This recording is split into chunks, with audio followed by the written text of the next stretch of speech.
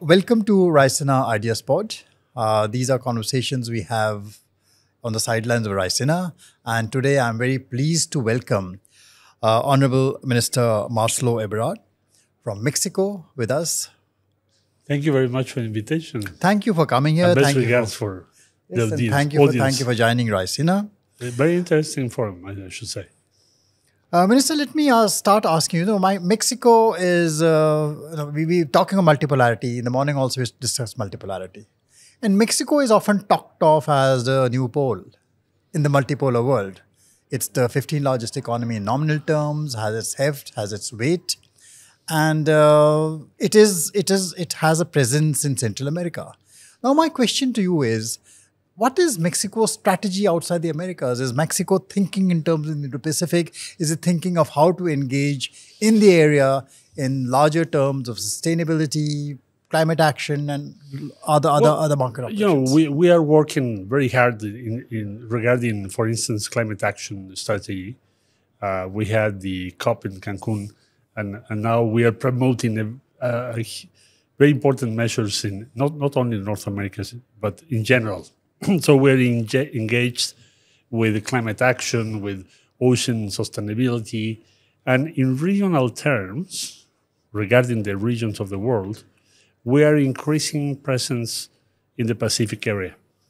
For instance, Mexico has the presidency pro tempore past year of the Pacific Alliance with uh, Chile, Colombia, uh, Peru, and now Singapore, then Costa Rica and other countries. So the presence in, in the Pacific and the, the commerce in the Pacific is growing very fastly in Mexico. So we need to deploy an, uh, our strategy in the Indo-Pacific too.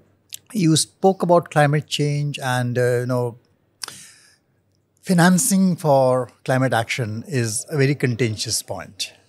Well, we insisted in the past COP.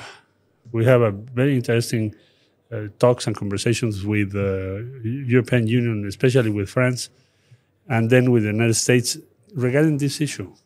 We in, in Latin America or- organized two years ago the adaptation fund. So we have money and we are supporting the Caribbean countries, which are in risk because of the sea level. But what happens with the uh, figures that we listen each COP? It is not working. So uh, this year, I think that is going to be very, very a very important part of the agenda. This issue, uh, the commitment from the developed countries, as they name it, it themselves, with the rest of the world, in order to finance special adaptations funds for many countries, which are in danger right now. So tell me, you know, uh, just staying on the same topic of climate finance and climate action, we are today in a world which is uh, facing you know, geopolitical struggles which are impacting economies to a very large extent. And the fiscal space which developing countries, emerging economies have to actually work on climate action is getting more and more constrained. Now, where does Mexico see itself in this situation? Well, we have, you know, in the case of Mexico, which is not the same case maybe of many countries, we have an uh, important increase in the foreign investment, and at the same time, we have uh, a very good ratio between income and debt. Our debt is very low, our income is growing. So we have some space, fiscal space, in order to finance not adaptation, but mitigation measures in the next years, mainly energy, clean energy, electromobility, and other initiatives. But regarding the global situation, uh, it's amazing that the the extreme complex architecture of the financing from developed countries to the rest of the world, and why they should do this thing because it's a fair it's a fair play. I mean, United States is responsible for maybe 30% of the emissions right now. So it's not only because you are rich, it's because you are generating a very important part of the problem. So I think that uh, this is going to be a, a key debate this year in the COP, as uh, at least four Latin American and Caribbean countries, to, to, to really pressure on this Yeah. because every every country in our region increases their N- NDCs in Egypt. But what about the financing? Now, Mexico, you know, is part of the international, the Comprehensive Development Plan, which is between the four Central Latin American countries, which uh, uh, which have been uh, severely affected uh, primarily by large amounts of uh, labor mobility, migration, and issues of sustainability economies, which can which do not have enough uh, spurt in them to move fast enough. They, and Mexico is taking the lead, perhaps, in this area and getting partnerships with ECLAC and all the others, the UN agency, to try and do something for this area. Now, migration is a problem. Migration is a problem. Labor mobility is a problem. How is it impacting the relationship between Central America and its larger, richer neighbor? Well, you know, we have uh, the situation right now is like this one in the United States, you have a decrease in the demographic growth. So, you, United States, which is the largest economy in the world until now, you have they need something like two million people, I think, per year, in order to maintain their economic growth. They have only 0.3 percent of the uh, demographic growth per year. So you need more and more people. So the question is, how are you going to organize this? There are two ways mainly. The one way is uh, the, let's say, the architecture of the past century. Mm-hmm. We don't allow people to come, but if you come, you are going to remain here. But this has created a large black market, a lot of human suffering, uh, human rights abuses. Okay, this this is a possibility. As a matter of fact, this is the situation right now. The other one is to establish a, a, an organized, safe, and regular process, which the people can understand what the rules are, in order to avoid the black market or the criminal network. So, fortunately, the Biden administration recently took action in this direction, the second one, and uh, you have some results, some figures, very positive ones, encouraging ones, that uh, you have a decreasing in the, let's say, irregular flow, the first that I described, and uh, you have a new kind of management of the second one. So I hope that in the next future this can be uh, the, the answer from the United States to change the, the past century model to another one in this century. And what are we going with Central America? With Central America, we are in, um, expanding the legal ways to work in Mexico. Uh, the refu refugee uh, tradition of Mexico has been expanded or facilitated to the people in case of they need refugee. So we have uh, more than triple the refugee figures this year than three or four years ago.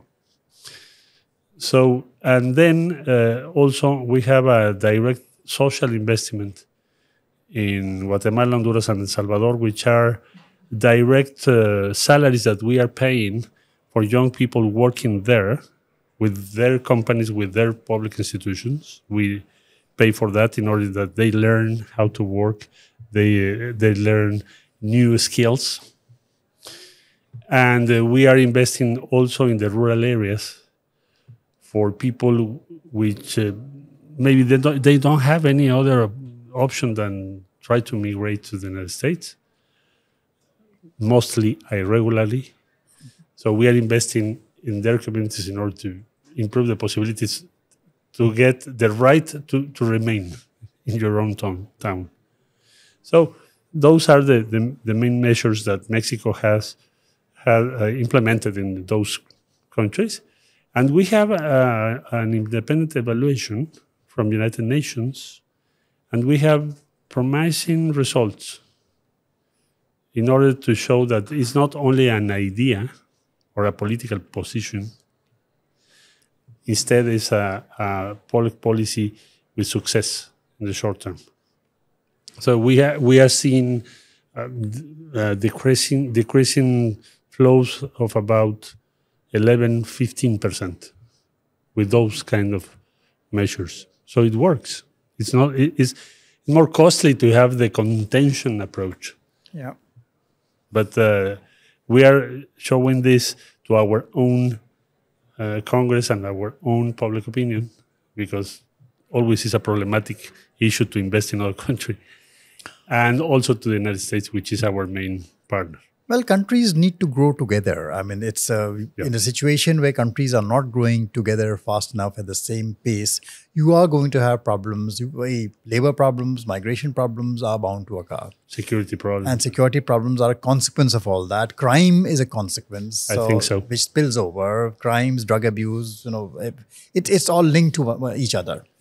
Now, uh, looking at larger Latin America, there, there is, there, you know, I was speaking of constrained fiscal space there are countries which are having problems there, major problems. Yeah? Uh, those problems naturally are going to be spilling over into neighboring countries, and they are spilling over into neighboring countries. Uh, where does Mexico see itself in this? Well, we are trying to help um, the countries in Latin America that uh, have political problems or the risk of instability or confrontation to find out dialogue and solutions. Not always is, has been easy way this way, but it's our tradition. It's uh, the case that uh, Mexico implemented in Central America in the past with El Salvador, for instance.